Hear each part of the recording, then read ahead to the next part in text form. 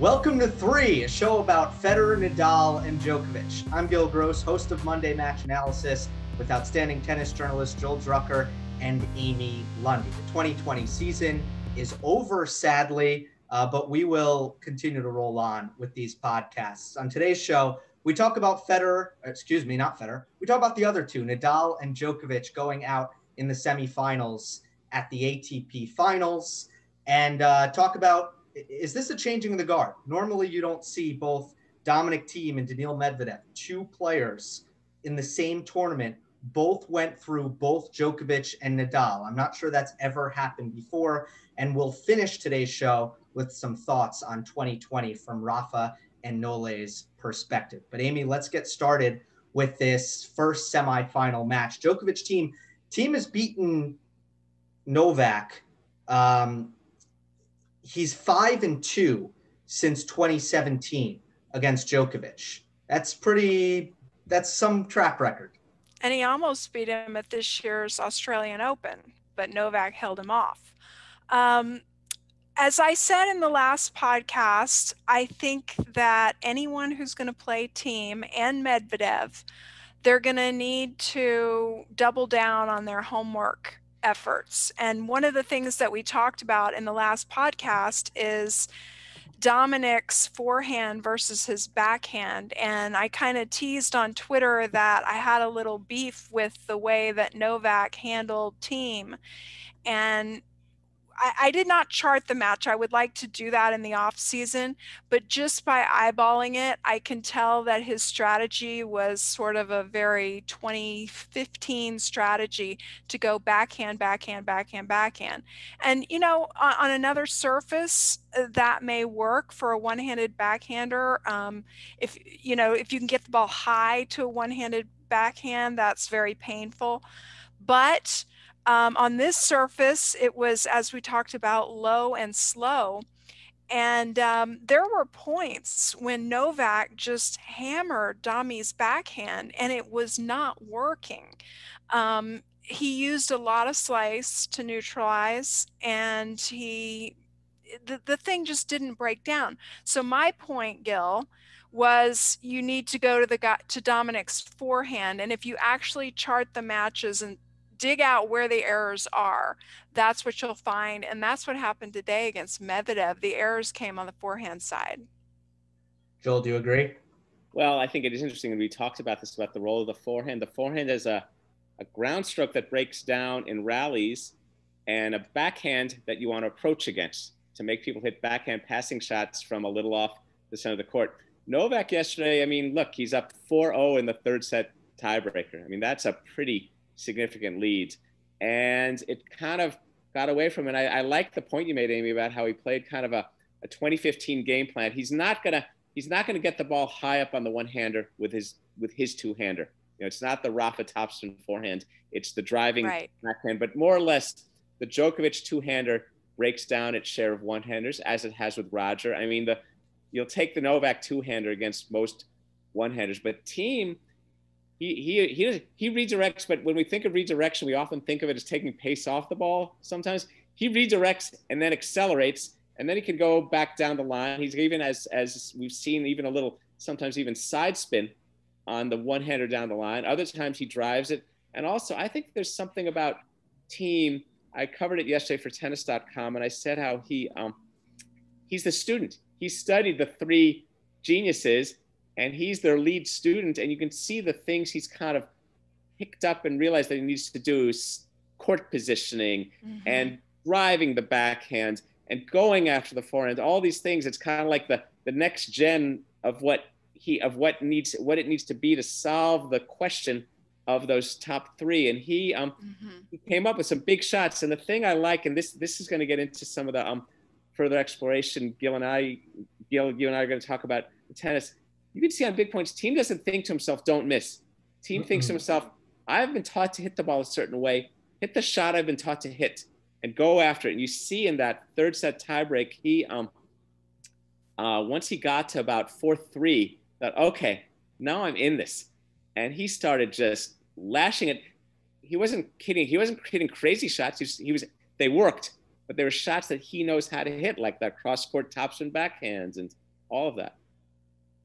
Oh yeah, I in big points, Thiem is if anything raising the aggression, raising the energy and the racket acceleration, and that's what's been so impressive in big moments for for Dominic. And he's won so many big tie breaks uh, in 2020. Medvedev in the U.S. Open semifinals twice this week, even the Australian semis when he beat Nadal in three straight tie breaks. I also agree with your critique, Amy. I think if you look how how Medvedev played Thiem, It was constantly changing direction on the backhand to put him on the run, make him hit a mm-hmm. running forehand. Thiem's mm-hmm. backhand is so, so uh, vastly improved from what it's been in past years. Uh, and when he mixes up the slice and the bullet hitting over it and has that variation backhand to backhand, he can play with Djokovic and do way more damage. But don't you think it was kind of a passive game plan overall from Novak. I don't really think he was taking his risks.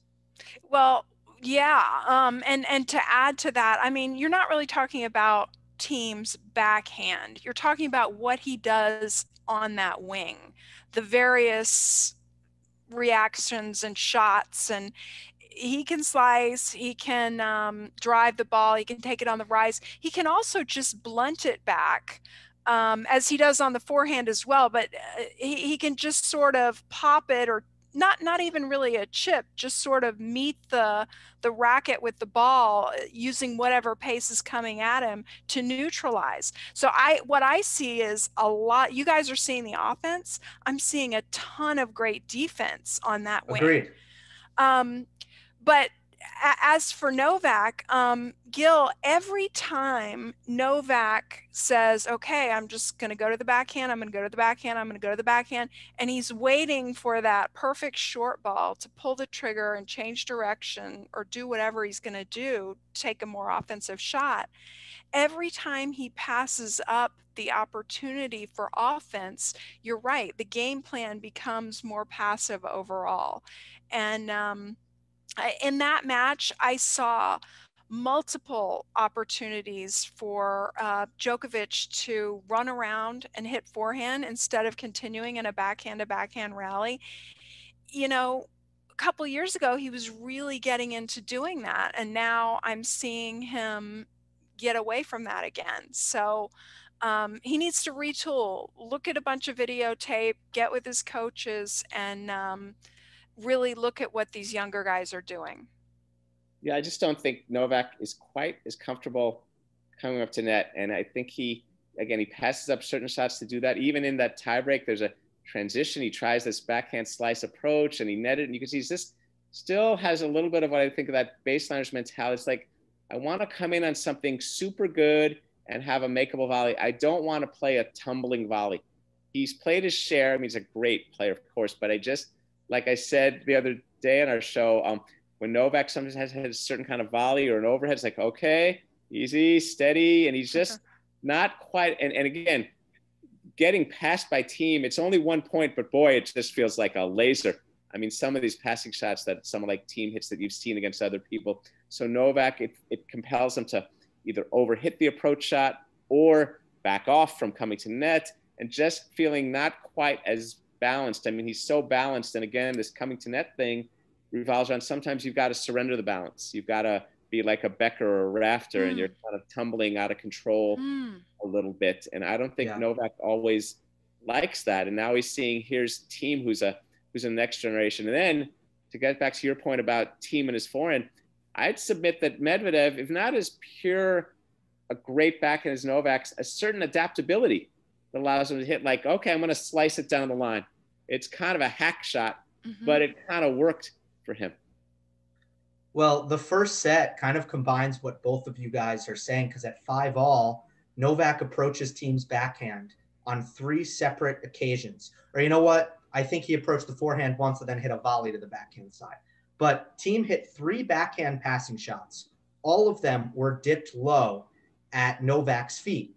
But Novak lost all three points. He missed two of the volleys and he popped one up that Thiem got to and easily put away. Joel, I mean, a lot of the, the volleyers, the great volleyers of the 70s certainly would have won one of those points with the volleys that Djokovic had to look at, right?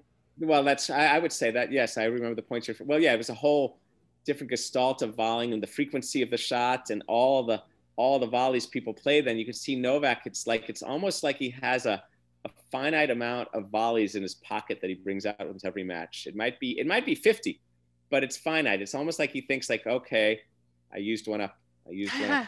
I used one up. Yeah. And, but but this can be remedied. Yes, um, the, the, you look at the guy's form on the volley, it's picture perfect. I yes. think you make an amazing point when you say on the volley, this actually helps me in my game. You've got to surrender. Like you don't have to hit the perfect shot and then be perfectly on balance when you're done. And maybe somewhere inside him, the perfectionist inside him is holding on to that. That's interesting. I love it. But all he has to do is is get to Monte Carlo Country Club in the off season, drill that bad boy, and just work on it. He'll get it. Yeah. That seems to me a, a more sustainable way to finish points quickly. If you know, if compared to let's say the backhand drop shot, which he's used with more frequency. Mm-hmm. It feels like improving the transition. Oh, I, I'm just so over the drop shot with Novak. I mean, let's like, we're getting older now. Let's move to the next level. Yeah. And and just to clarify, I, I say the great volleys of the 70s. I think even Nadal would have um, handled that those three volleys better and not been broken at five all. Uh, let's go to Nadal's match. He lost uh, three sets. Daniil Medvedev, first time Medvedev got the better of Rafa. Felt that Nadal had, well, he certainly had his chances. He served for the match in the second set, uh, but he he faded in the third after losing that opportunity and really broken at love.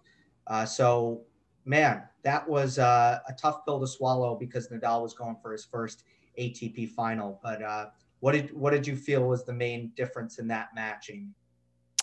Well, it's interesting because I listened to our last podcast like three times, and Joel, who's like right 99.99999% of the time, made an interesting comment something about you don't see Nadal like narrowly lose a set, like the first set, um, and then just peter out in the next set. And that's exactly what happened. It wasn't the first set that he narrowly lost, it was the second set. And then he just petered out in the third set. And if you listen to his or read his uh, post match comments, he's like, yeah, I should have had it. I should have had it. And, and then he just doesn't even talk about the third set. It's very un-Rafa like. That is interesting. Well, I, I, I remember we were talking about that. Of course, I mean, it has to do with his attitude too. It's not. I mean, I'm not talking. I mean, he's lost his share of matches after. Yeah, that, of course. But but but you're right. He did. It seemed in that third set, and you're right, Amy, that he kind of. It's like, how'd that happen? Yeah. I'm Rafa, and I fought for it. Well, and I think there's something. There's something about Medvedev, and we'll be able to talk about these guys more as contenders. Medvedev has a kind of he has a trance. He can put you in a kind of a trance because the way uh-huh. he plays, it's it's a little different. Novak Novak doesn't do that to you. Novak just kind of brilliantly goes after you. Pound, depth, depth, depth, here, here, here. And you just kind of feel kind of pounded. Medvedev has this thing, well, how do you win that point? And what did that happen? And how yeah. and up with these things. Yeah. I think very unsettling. I mean, he's a real, he's a very, everyone is disruptive, but he's exceptionally disruptive. And I think it left Nadal by that third set kind of, kind of confused. Kind of, how am I going to get a hold of this guy? What am I going to do to get him off his game. And the same thing had happened, of course, in that great US Open final in 2019 that Nadal barely got out of that match. But I think there's these things that Medvedev does that are just kind of like, what was that? And here's the big serve, and here's the sudden attack, and he he mixes. He's a very good improvisational player. Yeah. And and you're so right. And I think that left Nadal kind of a little a little stymied. And again, that third set lacked some energy, and it just kind of the the the air went out of the balloon he's the mad scientist. He's so unpredictable. You, you don't know. He just tries stuff at the craziest moments, like the sneak in in the third set on a break point. Nadal kept going to the backhand slice, and for the first time all match, Medvedev saw that Nadal was going to slice it, so charged in and finished a volley. That's so disconcerting when your yeah. opponent tries new tactics on the biggest points of the match. Well, this is yeah. the thing we talked to. I talked about this before when we were talking about how Nadal when he beat Schwartzman in the semis of the French Open. And this is the developmental piece, which is broaden the arsenal, practice your surprises.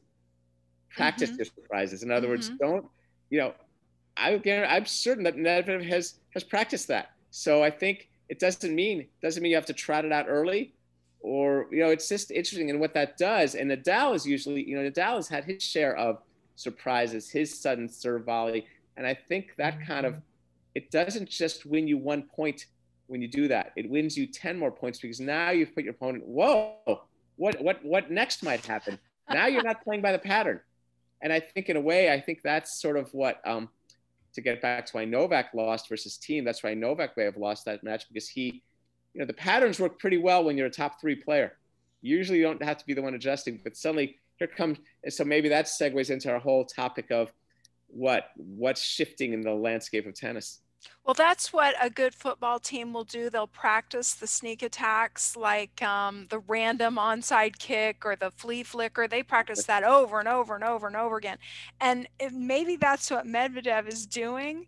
Um, but I agree with you guys. It's like Joel mm-hmm. said in the previous podcast, he has a Parks and Rec quality to him and then he has like an accountant quality to him and then his facial expressions between points are one of amused disdain and hmm. then you know all of a sudden you think it's a baseline game and then you got a six six guy charging into the net just putting the ball away like a freight train so Great. he he's a he's a very interesting player. Um, I really enjoyed in the match that he just played against Thiem. I really enjoyed how after dropping the first set, he did mix it up by coming into the net. And um, you know, I know this is a show about the big three, but I've I've got to ask you. This is like top of mind for me. Okay. I've got to ask you guys. Um, there was a point in the second set. I know you know the one I'm talking about against Thiem and um, Thiem had break point. It was 3 3, I believe. And Daniil hit a pretty weak uh, serve, second serve. It might have been like 83 miles an hour. They end mm. up face to face at the net. Gill's nodding. And um, Thiem has all the time in the world. The ball's right in front of him. It bounces right in front of him. They're both at the net. What's the play there, guys? For you, what's the play? I would hit the guy in the right hip. Gill. I'd hit the guy in the right armpit. and I would I would hit the guy in the feet. And and what did he do? What did Dominic do? He went for the sideline. Yeah.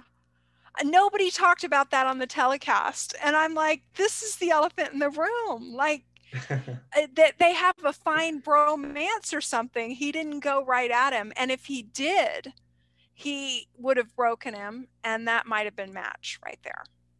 That's there you go. There's tennis. That's that's that's how it happens sometimes, right? One minute. Yeah, you... I had to get that out. yeah. Oh, I mean oh. that that that three all game is going to be nightmarish for Thiem when he goes to bed tonight because he had yeah. all his opportunities. Yeah. I, I wanted to ask: it Did Nadal slice too much against Medvedev? Always a tough thing to determine. Maybe maybe if he wins if he wins the match, he doesn't seem like he sliced too much. But maybe I think, yeah, I think Medvedev got onto that. Medvedev got onto that, and then when he comes to net against it, that's the whole thing. That's why the whole thing, like when you see the slice and the squash shot, the net rushers see all that stuff is like, wow, that's heaven. Thank you so much for mm-hmm. slicing the ball so I can hit a volley. But maybe Nadal relied on that a little too much. I mean, you know, it's so he lost, so maybe he did but I don't know. I, you know, I guess. Well, I mean, Gill, what do you do when somebody hits the, a lot of slice to you and the ball comes in low? What do you do with that? Um, I generally slice back. Medvedev, exactly. Exactly. Yeah. yeah. I think Med- that's what both the guys were doing. Um, Nadal and Thiem today were using a ton of slice against Medvedev. Well, it's a good play against him. I think everyone on tour slices more against Medvedev because their coaches tell them to. Uh, I I didn't think Nadal sliced too much because I think it set up the shots that he was looking for, um, and I just think that the forehand down the line and the volleys in the third set, the the things that those kinds of tactics are intended to set up, I, I just felt Nadal's execution was missing on the back end. Well, that's right. So the question with these things is like then you can find some stat that says how much did he slice? Was that too much? But to me, the metric in tennis remains the scoring system you know, the metric in tennis remains the execution at the key stages. So I'm not really I'm not really going to look at a stat and say, oh, well, he sliced, you know, X percent and maybe he should have sliced less. No, what he needed to do is execute. But then if Medvedev is gra- handling it fine and it's not really attaining much purchase for Nadal, then it's fine. Then it, that, that, that's the thing with neutralizing tactics. They're neutral, neutralizing tactics. They're neutralizing. They're not offensing. You know, Nadal slice yeah. meant to set up his forehand and do things. But it Med- Medvedev, again, we talked to, to get back to Medvedev and how Thiem made this decision, which was he made a strange decision on a big point. Nadal slicing again. I think Medvedev creates this whole little tactical vibe. It's kind of creates. A, if you look at the court as a series of roads and pattern, he creates these traffic jams, and it gets into a player's head. Even someone like Nadal or Thiem, it makes them see start thinking differently, mm-hmm. and so it gets them a little off kilter when you play someone like that. I, I know that because I've played plenty of people like that, and I am the kind of a player like that. You get people. It's not predictable so now it, everyone's a little everything's a little out of sorts. I'm not quite controlling things the way I should. And so the instinct, which is right, short ball, hit right at guy. Oh, mm-hmm. oh, I'm going to go for the sideline. You, you you you you overthink it. You know, you get you make odd decisions. We've all done that, yeah. right? Yeah, yeah, I, I, like that description of Medvedev, um, and I, I, it showed in in uh, Dominic's demeanor. Starting in the second set, he started hitting himself with the racket and yelling and staring at his box, and yeah. Um, well, Medvedev listens to that. Medvedev listens. How can I lose this guy? What is going on here? Yeah, uh, but Gill, to your point about the slice, um, I like something that Ash Barty told me once in a press conference, um, and that is, you know, she's known for her slice, and that is that she uses it as a way to place her opponent on the court where she wants. So when we think of slice with these guys, we're thinking of like a backhand to backhand rally where they're just slicing to the backhand with each other, slice wars, the backhand to the backhand. Why well, not? for, for Nadal, it would be down the line to right. the to the Medvedev backhand. Oh right. well, that's true. That's true. Um, but why not use the slice a little more creatively? Like slice to one end of the court and then to the other end of the court slice short angle cross you know sh- slice this that and the other instead of just these um, you know cross court sort of ways so i would like to see that shot used more um, strategically i guess and, and not as a, a neutralizing shot now I know I now I know once again why I'm the oldest person on this show. I mean, my the slice is the slice. I, I do that all the time. That's all you do. No, I, I, I have the I have, a, I have my little flat tops and back end, but I understand the complete deployment of it because in the net rushing era, not just as an approach shot, but Barty's point is great. I want to put you there, so you're going to hit this there, mm-hmm. and I mm-hmm. can disguise this there, and then I can drop approach you. I can angle you. Mm-hmm. I can mm-hmm. to your western forehand, knowing you're going to hit kind of short. And again, remember these guys. These guys, two of our big three are predominantly baseliners, are significantly baseliners. Nadal and Djokovic are mm-hmm. by and large mostly baseliners. Roger's sort of different, and he's and even he has gained most of his success as a baseliner. So to get back to how people can play, particularly people who who you know recreational people, by all means. And the slice gets some bad language. It gets some uh, some low respect. It's, oh, it's neutral. Oh, it's defense. No, it's it can be totally used for offense. And the way you explained the Barty answer, Amy, is perfect. Yeah, I want to put you there, and I'm going to make you hit a low ball there. And it's not just the short one. It's deep. It's low. It's disguise. It's down the line. It's cross court. It's a return. It's a great many things. It's a it's a great many things. It's it's through the middle. It's a lot of ways it can be be used to resurrect a rally so it can go something can go back cross court the other way. So again, uh, yeah, the slice back and and I don't think I don't think any of our three uses it in the complete way it could be used. Even Federer, it's mostly the short one now that he hits. He doesn't hit a deep slice. I cannot just, you know, to throw in, I cannot wait until we're talking about Federer again. Yeah. You know, like, and that's going to be soon, guys. I'm really excited yes. about it. Can yeah, I, I?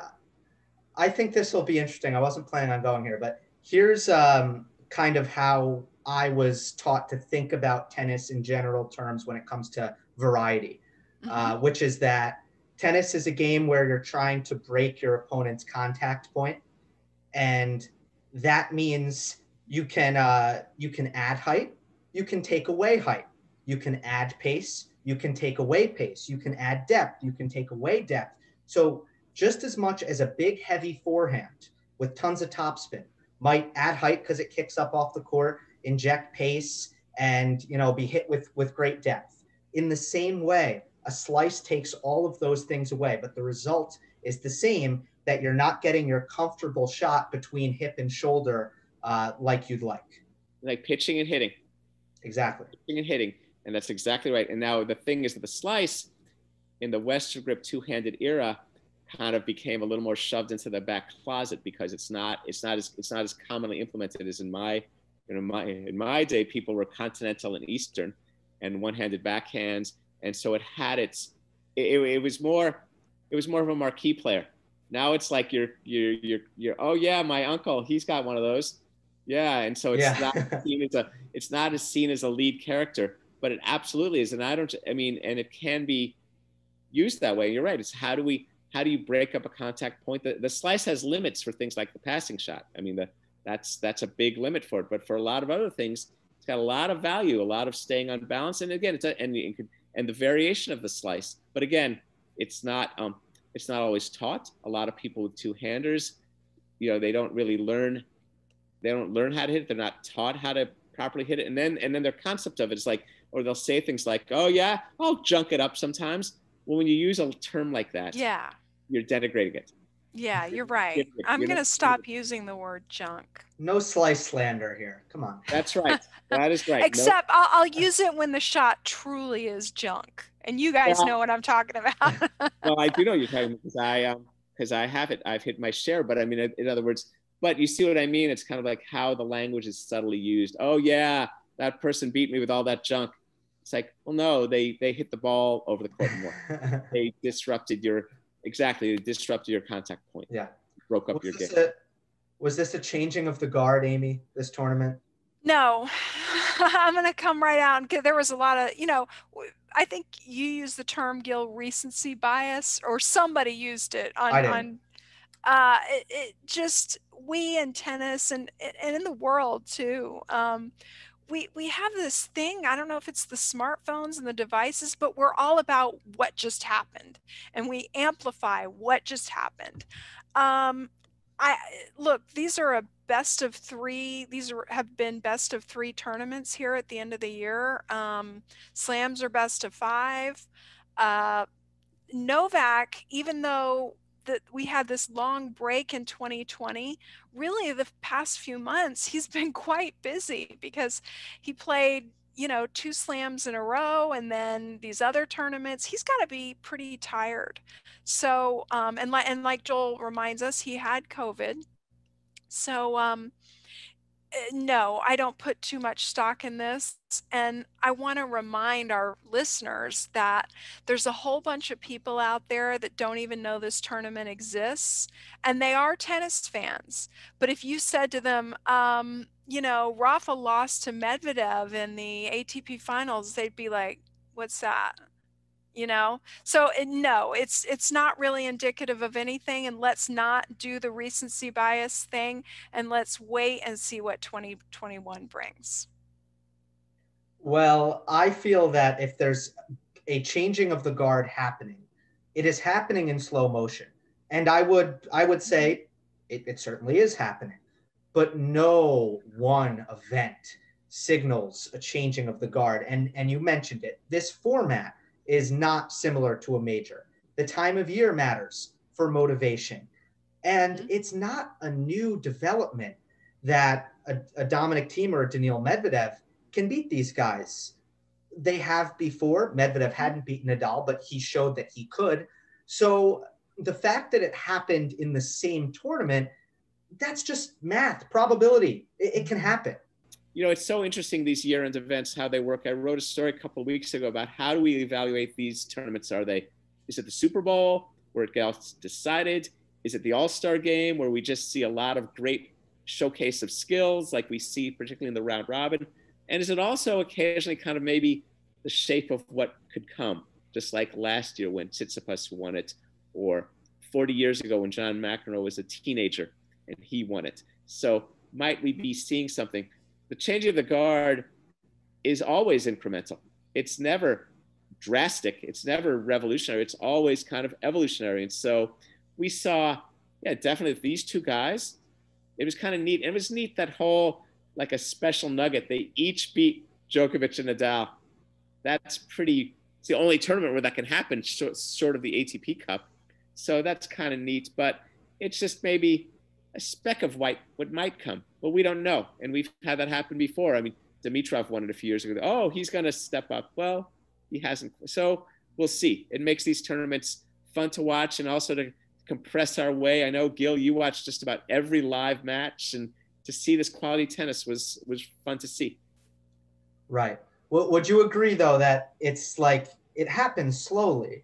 So going into Australian Open 2021, I give the Thiems and the Medvedevs and even the Zverevs of the world and Tsitsipas, I give them all a better chance than I did in 2020. But that's Absolutely. not because of what happened at the ATP finals. That's because of what has been happening for the last two years now, and they're they're just getting better. Well, it's well, not only that it is happening slowly, but it also might not be V-shaped. So it might be like getting better, getting worse, getting better, getting worse, getting better, like that. So just because the changing of the guard is happening doesn't mean it's happening all in one shot. Yeah. Agreed. Right. And we're all, God, we're all about uh, curve watching these days in our world, aren't we? yes. Yeah. Yes. Uh, okay. Well, 2020 season is over. It's time for uh, off season reflection. You go back to the drawing board. You, uh, in Djokovic's case, you you think hard about what you want to be spending your time doing in Monte Carlo. Uh, for Nadal, it's Mallorca. Federer's in Switzerland. Um, although let's keep it to the players who who we've been watching carefully on the court over the course of uh, the last season. Um, Joel, what do you think the the final kind of final term feedback is? You're their professor They've just completed the first uh, the, the two semesters, which but was broken up. Oddly enough, yeah, there's uh, a deep, a long, that was a long spring, but and not in a good way either, right? I mean, we had a long no. gap between the, the the front half of the year. Well, look, you look at uh, you look at uh, let's start with Roger. You get kind of an incomplete, right? I mean, it's kind of a yes, agreed. Started and then it all. He sat it out. He's had his injury, and uh, so that's his 2020 is kind of a bit of a head scratcher. Played uh, six matches, I believe, right? Gets to the semis in Australia. So uh, Novak, though, still pretty good. Two major finals, two major finals. I mean, winning his his A Australian, and then uh, you know the, the the Roland Garros thing is just going to be. I mean, we're looking at that now, and we're going to look back and say, "Wow, this is unbelievable." How this guy. I mean, do you realize someone in the future may win Roland Garros six times.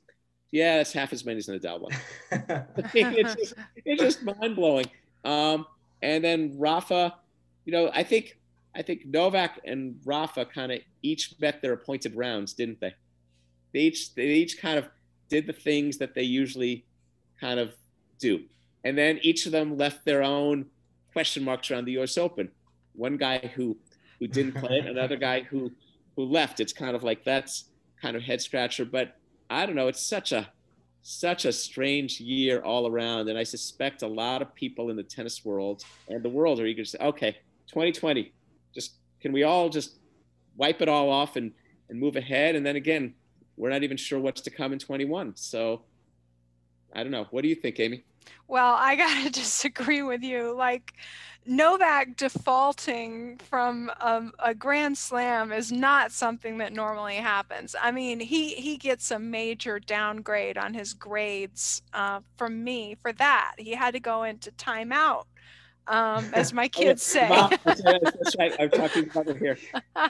You got detention. Um, and then you know, I'm uh, Rafa got a little slap on the wrist from me too because he didn't play the U.S. Open, and he could have He could he have. won't let him have that. He took the he took the, the, the option to not even take the class. Do you think he should have just take yeah. Anyway, okay. We we. I, we're I would. I'm a fan of his. Like I, I'm a fan of of Novak's as well. That's why I'm mad at him for what he did. But um, I, I not much really because he did go on to win the French Open and he did it in grand style and he did it by beating Novak. Um, so my I know you didn't want to give letter grades, but my grade for Rafa is an A minus for the season. Good job.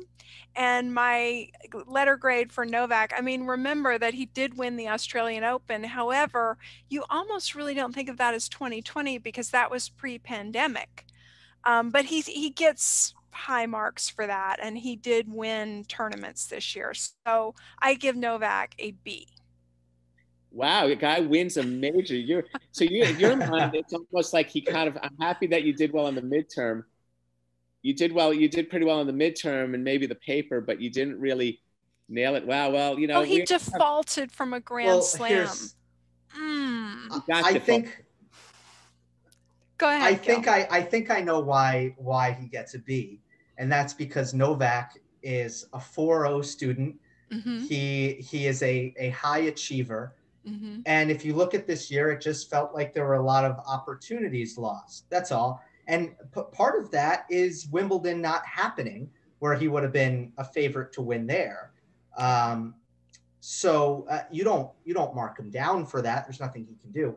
But when you look back on 2020, I think there is a certain sense of well, it could have been way more for Novak Djokovic than it was, especially given the way he started. He was undefeated this could have been a Djokovic storm season. Mhm. And instead, it was just your, you know, he, he picks up a slam. He holds kind of his status as the best player in the world off clay.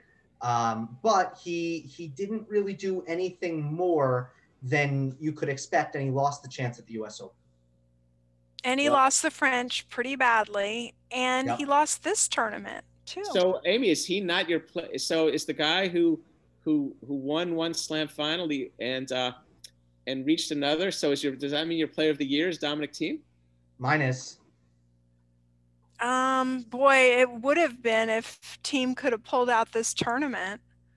Um, no, I it can't be because he didn't have to play Novak or Rafa to get his slam. I'm sorry. Um, he's still a guy on the rise though, and I love watching this guy play. I mean, let's see what happens with him. But is your player of the year the beast? No, student? Rafa's my player of the year. Rafa is your player of the Yeah. year. Okay, see, my player of the year would be um would be Novak based on his achievements. But again, I I, I also have a whole I have a whole thing that we'll take offline sometime about what I even think of grades as even. But that's Mhm. a different thing. I live in I, California. I gotta. I gotta I gotta think of that more. The player of the year question. I I guess I, I haven't really fleshed out my my thoughts on that. But to finish my uh, my critique, not my critique, my my feedback for Nadal, my end of year feedback for Nadal is that I mean you have to be thrilled with the way he held serve at Roland Garros. He held it love.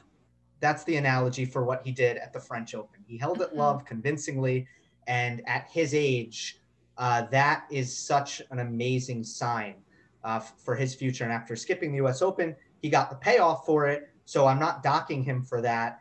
Um, and I just think overall, uh, to stay healthy, to do what he did at the French, I got to give him uh, an A as well. I like I like your letter grades, Amy. Although Thanks. maybe maybe Novak gets a B plus. Joel Yeah. doesn't give grades though. Not so big on grades. Not so big on. I'm going to think about this some more. I've No, taken I'm- I've taken classes without grades before. I'm not. I'm Pass, not. fail. I'm an evaluation grade. No, no, no, not pass fail. I don't believe in pass fail grading either. I don't like that either. It's like, you know, I, I want, and I have my idea in my head. I mean, I, I don't know the grades. Do you like weighted GPAs? I don't even know what a weighted GPA is. I Do don't you like. Montessori? Oh, you mean like these, kid- like the ones who get like you have like a 5.2 because you you spent your summer break on the board of directors of Apple or something, you know, you you, you launched your own 501c3 and Yeah. no, no, I, I that stuff gets a little much. Yeah, it's funny. We all have our different eras. You know, I went to a high school where you gave yourself your own grades. Think about that. So, uh, uh, I think I don't know, but again, to me, the um, the player of the year, I think, is Novak. I mean, I think he had the best results. Just, Oh, Just like I think the player of the year on the women's side is Kenin. How can the player of the year, we got to do this in another podcast, but Yeah. how can the player of the year be somebody who defaulted from a grand slam? I'll find that for you. Believe me, I'll find that for Okay. you. Okay. Okay. All right. All right. Well, we're gonna have some fun. I think. I think through December, as a preview of things to come, we've got a lot of topic chewing to do because we're not gonna have A have lot. matches to talk about. So maybe we can do this. We can answer that question about how could the player of the year be someone who is defaulted from a from a slam. Hey, Sure. Stefan Edberg withdrew from uh, from Australian Open final. Not he wasn't defaulted, but he had to withdraw, and he became number one that year. So that That's happened. close, Joel, but that's All not right. it. Okay. Wow. Well. Okay. That's fine. Yeah, Joel, you're right. Tennis politics, um, best of three versus best of five going on, and some you know general evergreen topics that we've uh, been waiting and, and looking forward to Life, jumping return into. of serve positioning. Yes. We, we got to come up with a whole. We got to come up with a whole uh, whole lit wish list of of different topics. You know, Gisa Lane, all that stuff. More to come. For now, we're out of time on this. We're not out of time. This is a podcast, uh, but we're gonna wrap it up on this episode of three. Remember, we're available on all of your favorite podcast platforms. Greatly appreciate it if you leave a rating and review on Apple Podcasts. Remember to like the video, leave a comment, subscribe on YouTube, and we will see you next time on the next edition of Three.